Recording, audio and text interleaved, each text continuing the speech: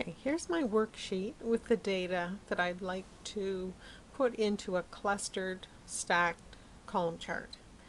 So everything is just in a nice tight little table. I've installed the cluster stack chart utility and I can see a new tab on my ribbon for PTS charts. So when I click that I'll see the button for the add-in.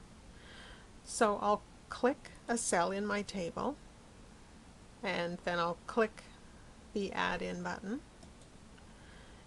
and a single dialog box comes up. We're going to have to just make a few entries in here to create our chart.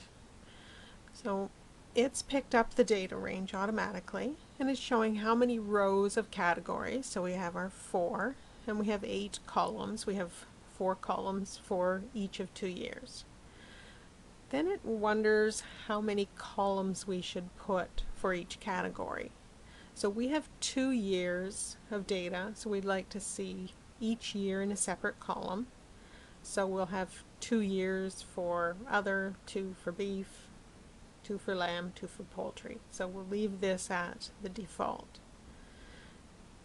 The next setting is how many blocks in each of the stacks. So we've got four seasons. So we want four in each stack.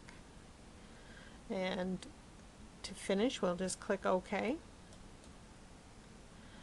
Here's our original data sheet, and it's still just as we left it. There's a new sheet now, and our original data has been spread out and spaces added and labels so that's all the work we would have had to do manually.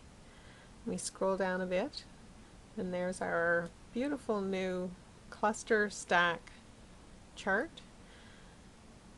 Four categories, two stacks for each category and all we had to do was click a button, set a couple of options, and there it was.